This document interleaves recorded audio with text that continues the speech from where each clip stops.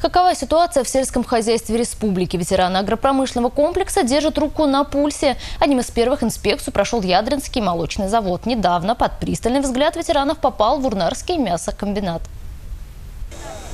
Экскурсия началась с молочно-товарной фермы «Вурнарский мясокомбинат». Здесь ветеранам продемонстрировали передовые технологии. Многие процессы на ферме автоматизированы. За дойкой следит компьютер. Одновременно можно доить 40 коров. Животные практически строем идут на свои места. С одной коровы в среднем в сутки надаивают 20 литров молока. Но есть и такие рекордсменки, которые дают 28. В общем, получается 15 тонн молока ежедневно по всей ферме.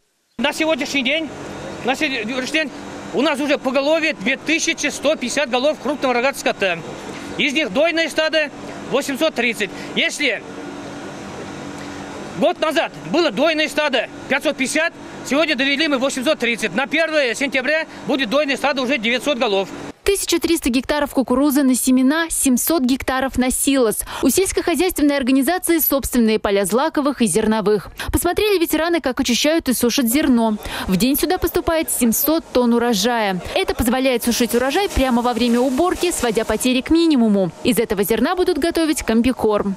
Вот этот комплекс, свиноводский, откормочный комплекс, приходилось нам, нашей организации строить. Мощность была этого комплекса 24 тысячи свиней от корма в год.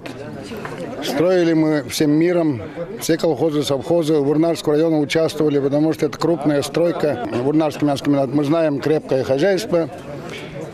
Используют в выработке своей продукции э, свою, свое мясо, э, свою говядину, свою свинину.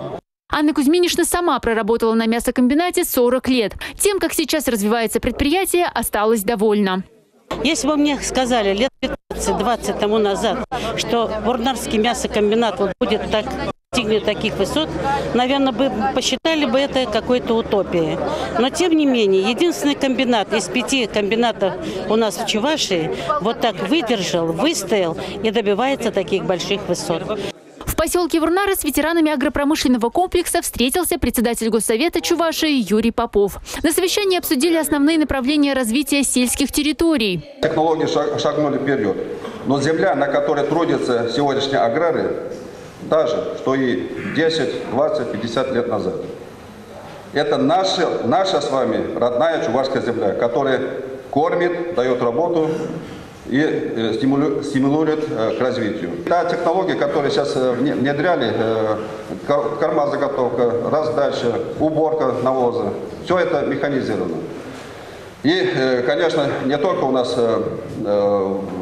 именно коровников, но и птицеводство тоже сильно развито, свиноводство сейчас.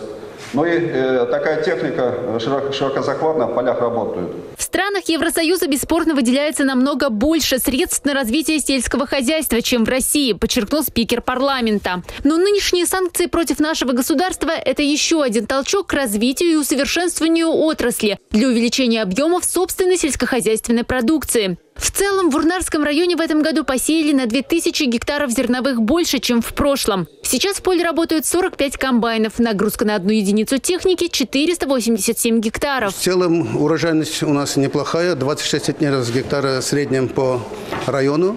Э, ну и таких хозяйств, как э, имени Карла Маркса, Санары 46, 47, 38 центнеров с гектара показывает. Э, в этом году ячмень уродился хороший, там 40-45 центнеров дает. Урожайность мы ожидаем хорошую по сравнению с прошлым годом. И где-то валовый намолот не меньше 40 тысяч. Если хорошо берем, у нас 40 тысяч, не менее 40 тысяч тонн должны валовый намолот собрать чисто по зерновым. Татьяна Трофимова, Андрей Спиридонов, Республика.